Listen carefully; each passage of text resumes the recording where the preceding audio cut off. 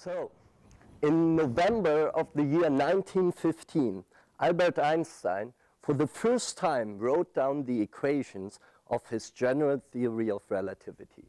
And that marked the starting point of a great success story. His general theory of relativity could immediately explain some of the biggest unsolved problems in physics and astronomy at his time. And even better, his theory has continued to explain new discoveries, such as the existence of black holes or recent discovery in cosmology. In fact, one consequence, one theoretical consequence of one of the equations Einstein wrote down is the existence of a cosmological constant. That is, a force that keeps our universe expanding at an accelerated rate. When Einstein realized that, he called it the biggest failure of his career. But after taking a lot of data in 1998 with satellite technology, we know he was completely right. So you see, his general the theory of relativity has been successfully and very broadly um, applied across physics. And one of the applications I want to talk today about is GPS, is the global positioning system. So if you have ever used a GPS, let's say on your smartphone or in your car's navigational system, you have benefited directly from Einstein's general theory of relativity. You might have not known about it, but that will change now. All right, so once somebody asked the famous physicist John Wheeler to explain general theory of relativity in one sentence. And what John Wheeler said is, there's nothing around us in the world except curved space-time. What he meant is that Einstein's general theory of relativity describes gravity, the force that attracts massive objects like the Earth and the Sun. It describes gravity as a geometric property in terms of space and time, or space-time.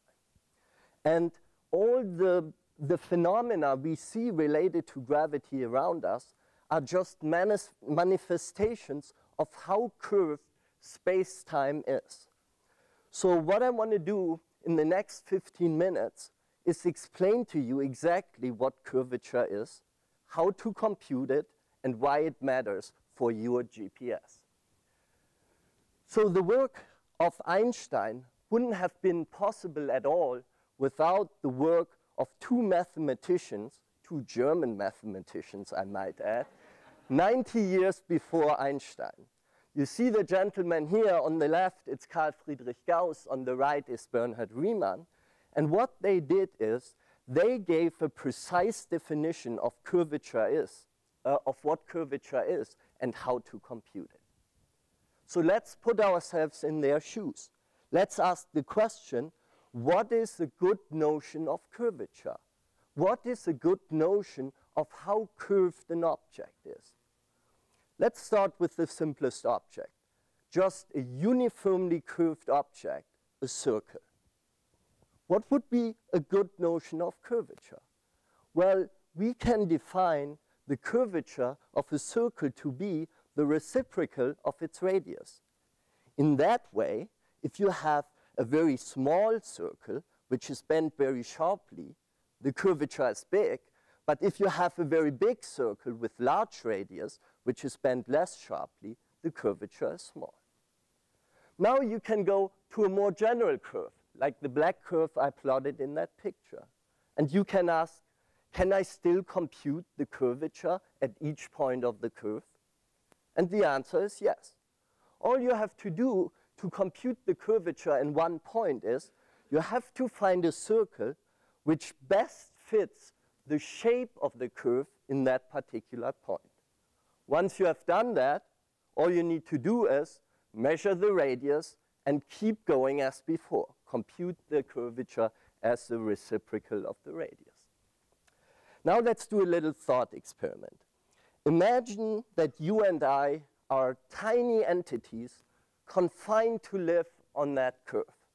Not a very pleasant picture, but let's stick with it.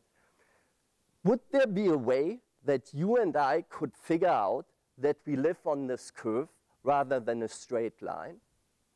The answer is no. And people in the 18th and 19th century already knew how to prove that.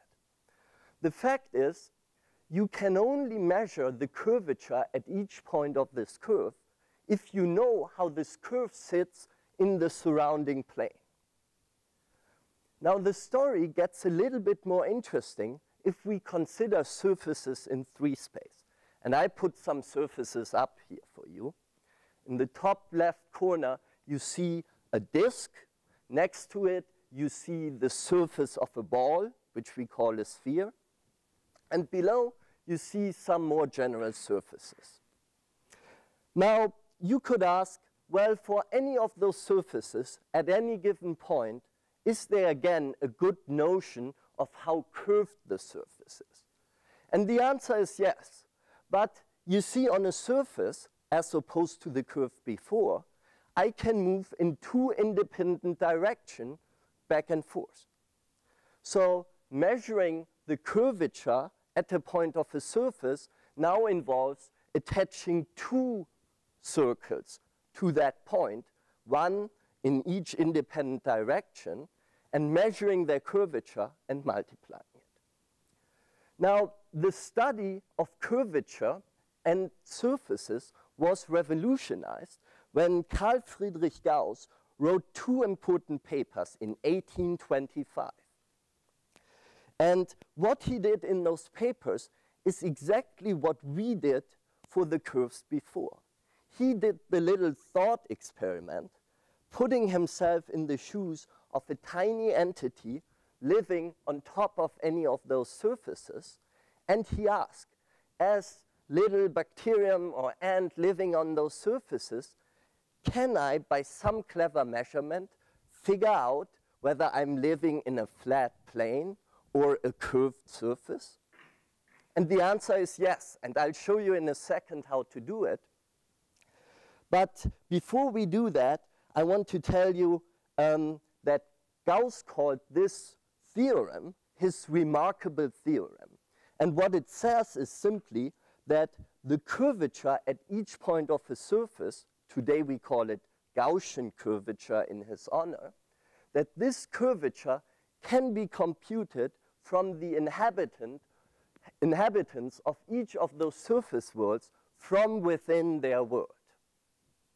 All right, now you might already be curious, how do I figure out whether I live on a sphere or on a flat disk, as actually people believe, you know, that we live on a flat disk at some point. Well, here's the procedure Gauss proposed to figure it out. Take three points on your surface, so let's start with the disk, and find the shortest connection between these three points. Well, on the disk, this is rather straightforward, right? The disk is a part of a, just a plane, and you might remember that in a plane, the shortest connection between two points is just a straight line. So, so far so good. So let's take our three different points. Let's connect them with straight lines. And what did we get ourselves? Well, an ordinary triangle. You can see it right there. Now, you might remember that if I take the sum of all the interior angles of, an, of a triangle, I get 180 degrees. Now let's do the same on the sphere and see whether we still get the same answer. So we pick three points on our sphere, and now we want con to connect them with shortest connections. Now, if you have ever taken a plane let's say from Boston to San Francisco, and you have tracked the flight path on the, um, what is it called, onboard entertainment system of your plane, you know that the shortest connection, the path your plane takes, is not a straight line. The plane actually goes in a curved line or a part of a great circle on a sphere. So keeping that in mind, keeping our frequent flyer experience in mind, we go back to the sphere and we do the same as before. We take three points and we find the shortest connection between these three points. Now let's compute the sum of the interior of those angles, of the interior angles of this object. Not quite a triangle, but um, let's still do that. And you see that the angles in the bottom are already right angles or 90 degrees. So whatever number I get, when I add all the interior angles of this triangle, I get more than 180 degrees, right? And that's exactly what Gauss realized. He realized that the curvature is related to the difference between the sum of all the angles in a triangle minus 180 degrees. Let's check. On the disk, what do we have? We have an ordinary triangle, and the angles add up to exactly 100 de 180 degrees. So the difference is zero. And the curvature of this flat disk is zero. On the sphere, what did we get? Well, the sum of the interior of the angles was bigger than 180 degrees. So the difference is positive. And you see, the sphere is a positively curved object. So this is how Gauss figured out how you can compute the curvature from within your surface world. Now you might think that talking about curvature in the abstract is not really that interesting. But you can see the consequence of this remarkable theorem every day.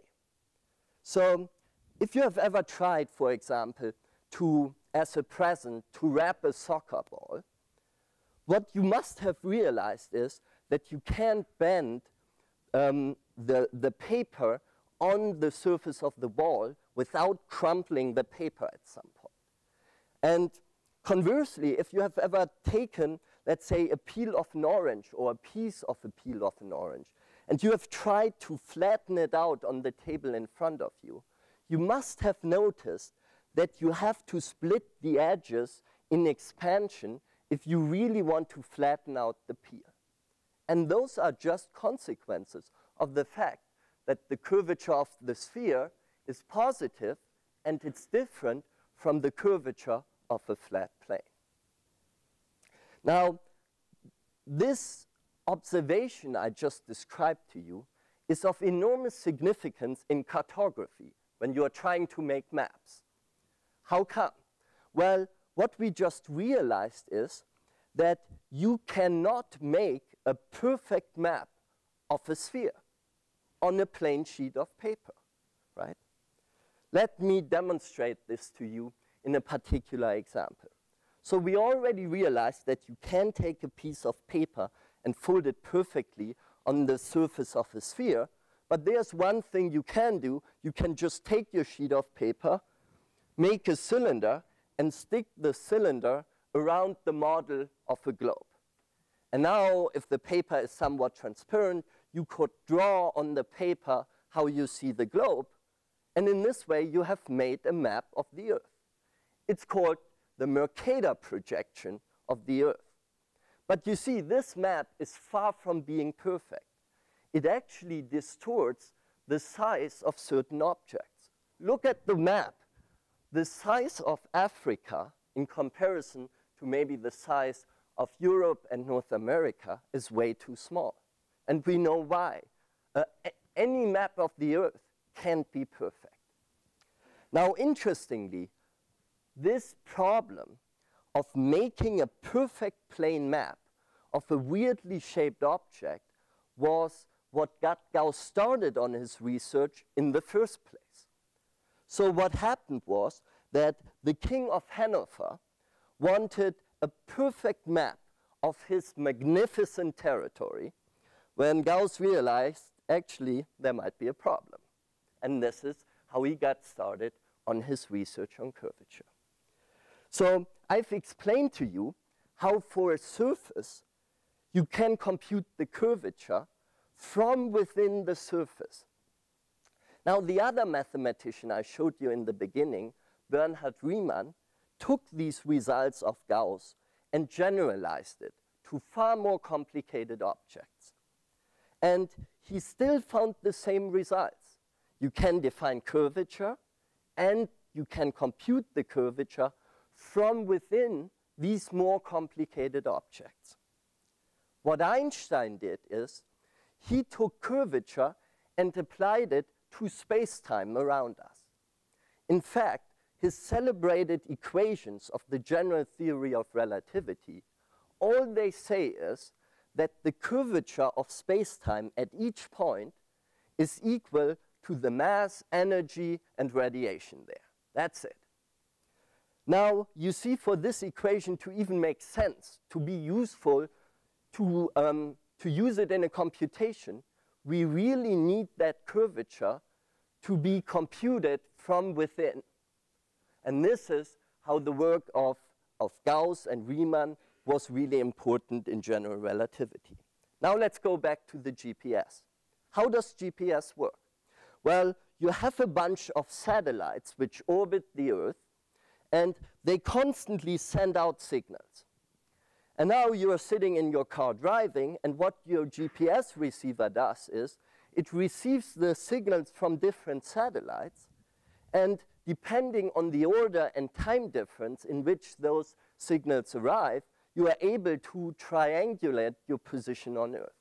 That's how GPS works. Now you see, for this to work, one thing is very essential, that the clocks on board of the satellites, of the GPS satellites orbiting the Earth, and the clock on Earth in your car are in perfect sync.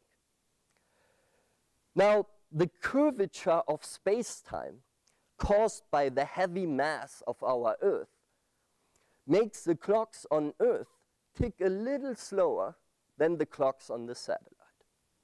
Now you might think, okay, that can't be a problem, but think about it. As time goes on, this effect would accumulate and accumulate. So what do you have to do? You have to permanently slow down the clocks in the GPS satellites by a constant factor. And what is that factor? It's the curvature of space-time.